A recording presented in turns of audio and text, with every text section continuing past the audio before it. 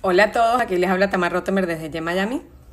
Y bueno, este video lo hice para desearles a todos un Shana Tova, un Metuká. Viene Rosh Hashanah esta noche. Y bueno, y quería darles como un resumen un poquito de lo que hay que hacer esta noche con los simanim, con el kiddush, con todo un poco. Entonces, me preguntaron bastante cuáles eran los simanim.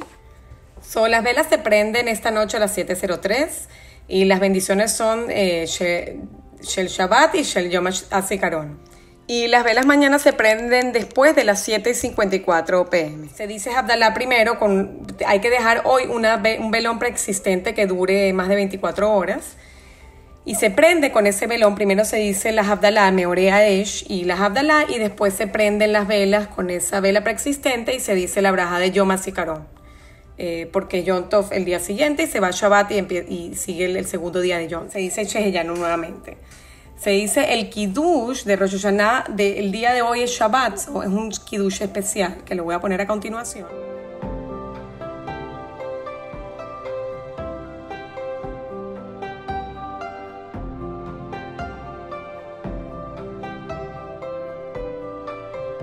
Varias gente me pregunta cuál es la costumbre que, se acostumbra hoy a comer en la mesa de Rosh Y bueno, mucha gente acostumbra distintas cosas, eh, más que todos los Ashkenazim, Sefaradim, eh, los Ashkenazim siempre comían la manzana con la miel, la granada y eh, la cabeza de pescado, se decían esas tres bendiciones que, se, que tengan un, para que tengan un año dulce, bueno y dulce, porque a veces las cosas buenas no nos vienen, no nos vienen tan dulces, ¿no? Son buenas para nosotros, para nuestro crecimiento, pero no nos vienen tan dulces y siempre pedimos por un año dulce porque, bueno, no queremos sufrir tanto, queremos que sea con, con alegría, con esa simja que todos estamos buscando.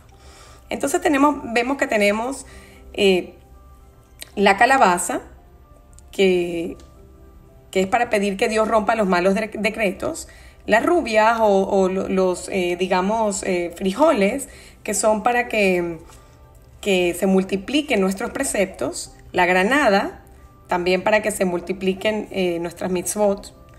Es, el mismo sentido. El puero, el, el ajoporro, para que, mm, para que destruir a quienes desean nuestro mal. La selga o la remolacha, para que no tengamos enemigos. Los dátiles, para que también para que se acaben nuestros enemigos. Y la cabeza de pescado para que seamos eh, cabeza y no cola. Cuando decimos que queremos ser cabeza y no cola, aquí vemos eh, lo que me quería enfocar, es que nuestra responsabilidad como judíos, eh, como el pueblo judío, es ser siempre líderes. Ya seamos el líderes en nuestras casas, el líderes en nuestra familia, el, líderes en nuestra comunidad. Siempre Hashem está buscando en nosotros ese tipo, eh, en nosotros ese tipo de liderazgo. Entonces, Siempre hay que buscar, tenemos una responsabilidad de compartir nuestro precepto, no solo de hacer los preceptos, sino de compartir, inspirar a otros y ayudar a otros. Y para esto tenemos que tener esa acción de líder, esa, acción de, de, sobresalir sobre los otros pueblos y, que, tenemos que, siempre estar en la cabeza de, las cosas, no, no, no atrás, no, no seguir, digamos, lo, lo que los otros hacen. Siempre tenemos que ver qué podemos aportar nosotros, qué podemos hacer nosotros eh, con, una, con un acto de liderazgo. Y es muy importante, aún para la gente que, no se crea líder, siempre todos nosotros somos líderes, ya, sea en, nuestra casa, en nuestra pequeña comunidad, en lo que sea, siempre podemos tener esa responsabilidad de liderazgo y dejar nuestro legado a nuestra familia y a los otros pueblos y a toda la comunidad. Entonces les quería desear un Shana Tova, un. Este, este Rosh es, bastante, es un poco diferente. Algunas comunidades en, partes del mundo ya, ya se están pudiendo reunir, así sean en pequeños minyanim, eh, pero otras no. Aquí en Miami todavía no se, no se están uniendo. Hay algunas sinagogas que van a estar abiertas, pero digamos, el shofar va, va a ser escuchado al aire libre. Entonces yo veo esto y, y me da como, va a ser distinto, ¿no? Entonces están en las diferentes comunidades que se va a tocar el shofar al aire libre. Y esto no se había visto anteriormente, siempre el shofar era tocado en las diferentes sinagogas. Y veo que la gente quiere buscar el sonido del shofar, independientemente que quieran o no quieran ir a la sinagoga por decisiones del, del COVID o no, de la cuarentena. Ahorita en Israel hay lockdown también. La gente quiere escuchar el sonido del shofar. Lo importante que es escuchar el sonido del sonido del shofar. ¿Y qué representa el sonido del shofar? El sonido del shofar representa ese grito, esa inspiración, e, e, esa, voz interior que tenemos todos nosotros para conectarnos.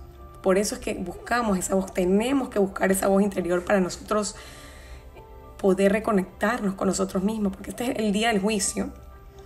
Es el día que se definen muchas cosas en el libro de la vida. También tiene que ser un día feliz, un día de, de.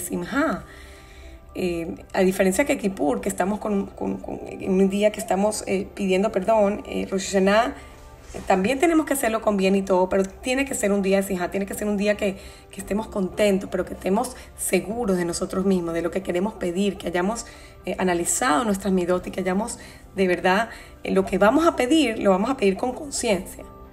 Eh, porque no, no es para pedir eh, de, que, ah, bueno, quiero eh, esto, quiero un mejor trabajo, quiero que me den parnasá, quiero, quiero, quiero, quiero, quiero. Es cómo yo me voy a comprometer con esto que, que estoy pidiendo, cómo me voy a comprometer si, si me viene esta suerte, este masal de, digamos, de dicha o de parnasá con, con Dios, con, con, el Todopoderoso, con Hashem.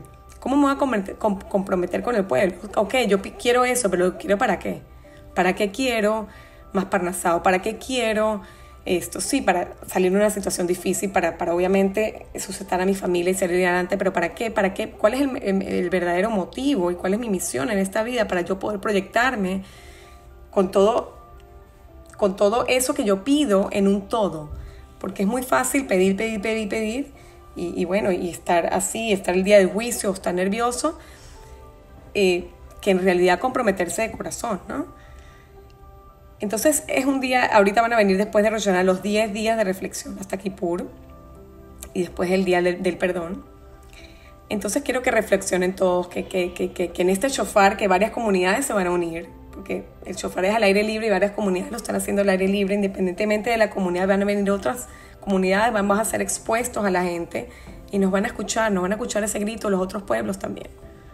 Aprovechemos este momento, aprovechemos este momento para conectarnos lo más posible y para pedir, para pedir de verdad eh, por todo el pueblo de Israel y para, para desearles a todos y a todos que tengan un año bueno, muy dulce, lleno de felicidad, lleno de momentos eh, gloriosos, que nos podamos ver eh, todos juntos, que podamos compartir en eventos otra vez, que podamos tener otra vez esa vida que teníamos, pero siempre con un propósito siempre con una misión en esta vida y que, podamos, que podamos haber aprendido eso en, esta época.